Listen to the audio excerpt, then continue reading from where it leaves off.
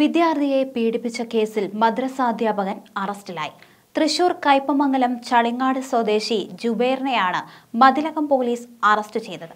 ഇയാൾക്കെതിരെ പോക്സോ പ്രകാരമാണ് കേസ് എടുത്തിരിക്കുന്നത്.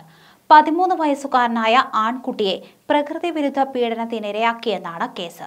മതിലകം ഇൻസ്പെക്ടർ ടി കെ ഷൈജുവും സംഘവും അറസ്റ്റ് ചെയ്തു. S I Cleeson senior C P O Shihab എന്നിവരും അന്വേഷണ സംഘത്തിലുണ്ടായിരുന്നു. പ്രതിയെ കോടതി റിമാൻഡ് ചെയ്തു.